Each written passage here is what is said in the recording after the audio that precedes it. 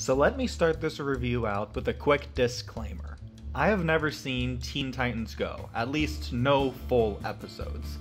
I've also never seen Teen Titans, the original animated series. I have no nostalgic connection to it, no point of comparison. I know the internet has strong opinions about Teen Titans Go, but I went into the movie totally blind. That being said, this movie was actually a lot of fun. You gonna annoy me to death with your waffles?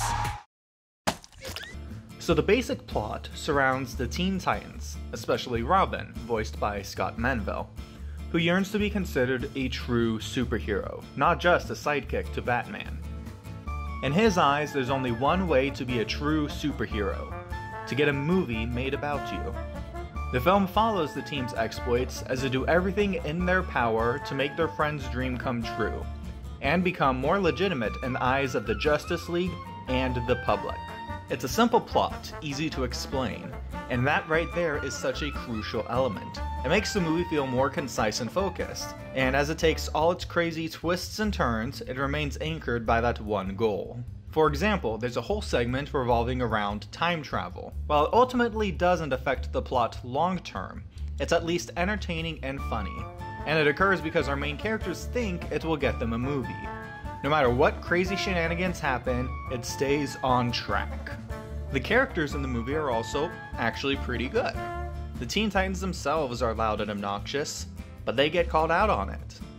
The plot is about them trying to learn to be more serious, and it makes them more bearable. With these kinds of goofy main characters, it's important to have a straight man to play off of. Movie definitely provides that, usually in the form of made superheroes like the Justice League or villain Slade, voiced by Will Arnett. The film says that an arch nemesis is the most important part of a superhero movie. Sure enough, without Slade balancing out the Teen Titans' silliness, this whole thing would not have been as strong. As it stands, though, the team gets to have their silliness and fun without it becoming overbearing most of the time. Now, I did say most of the time. The humor in the movie falls a little too heavily on butt jokes for me, and that fart joke from the trailer.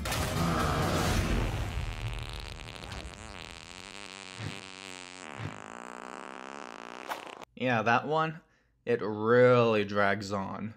However, that is also the weakest joke in the movie. The other weak jokes manage to fly by quickly, and the jokes that do land, oh, they are golden. The Tetronium Crystal, the perfect plot device. I mean, you have a song literally titled Upbeat Inspirational Song About Life in the soundtrack. And I'm a sucker for meta humor like that. It's nice to see that Warner Brothers and DC Comics are able to laugh at themselves. Has there been a movie about you? There was a Green Lantern movie, but we don't we don't talk about that. Heck, we even get a jab at the infamous Martha scene from Batman vs Superman. Marvel gets a fair bit of ribbing too. For example, Stan Lee makes a cameo until realizing it's a DC movie. Nah, I'm pretty sure you're Deadpool. Look into the camera and say something inappropriate. The beginning parodies both the DC Universe and the Marvel logos. It definitely pokes fun, but at the same time you can also sense a fondness behind it. It's a good natured roasting that any fan of comic book heroes would appreciate. The jokes go beyond superheroes though.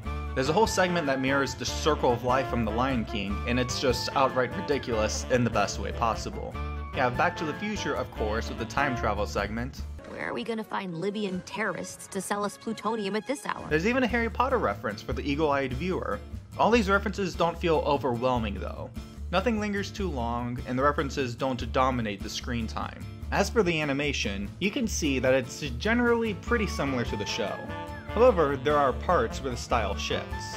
For example, in the Lion King parody, the animation becomes more Disney-esque, flowing more smoothly. There's also another part where it's essentially cut out animation. And while most of it does look like the show, there's also some upscale techniques added in to add extra depth to the picture.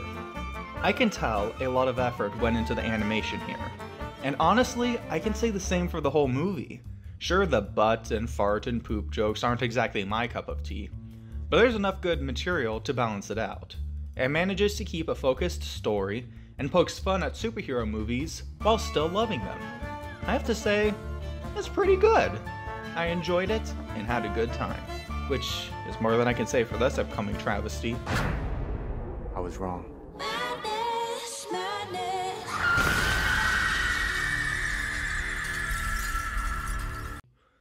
Yeah, I'll take these fun guys any day. Thank you so much for watching. Remember to like, comment, and subscribe, and don't forget to check out my website for animation news, short stories, and more. I'll see you all next time. The Bean is out.